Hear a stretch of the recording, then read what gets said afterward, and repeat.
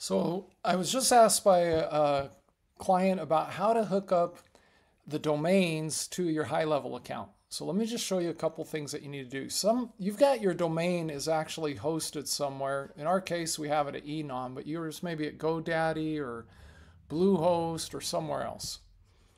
So let me show you a couple things that you need to do. The first thing is go find this this ampersand and put in the IP number of your HighLevel uh, server, your HighLevel account. And HighLevel gives you this information. I'll show you here in a second where you get it. So that's one thing. And the other thing is to hook up the www so it goes to the same place, you just put it, you make it a CNAME, and then you put the ampersand. And what that basically says is when they go to www, redirect it to ampersand. And whatever ampersand is, is this uh, IP number. And just for kicks and giggles, we actually got this star one, the asterisk one, and we put in the same thing there. So if anybody accidentally types in, um, you know, homes dot Cancun real estate search or something like that, then it might go over here. This that might point the right way. So we, that's the first part.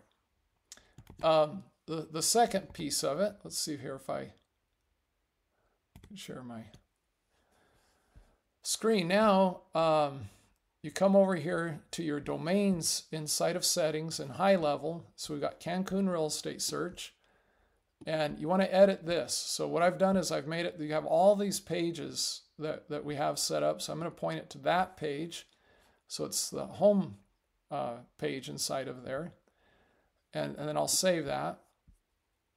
And then uh, on the www.cancunrealestatesearch.com, then I'll, I'll point it also to that same spot.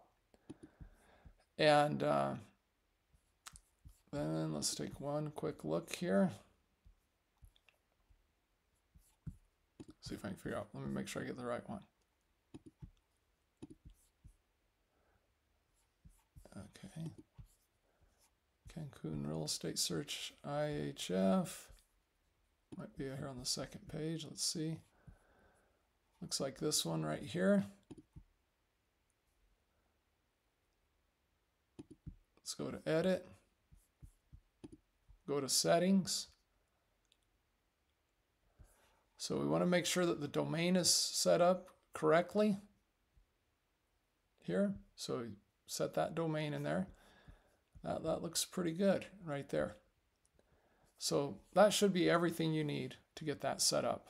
So if you have those pieces in place, then this is this domain. So now if I come over here to my computer and I type in www.cancunrealestatesearch.com, you can see it redirects to the non-www one, but it's, oh, well, look at that, it's showing the www. So that worked out pretty good. Well, what if I open another window? Let's copy that. And I just go to CancunRealEstateSearch.com. You can see that one doesn't put the WW on it. So there you go. That's that's how it works inside of HighLevel. So either one of those basically point to the same spot.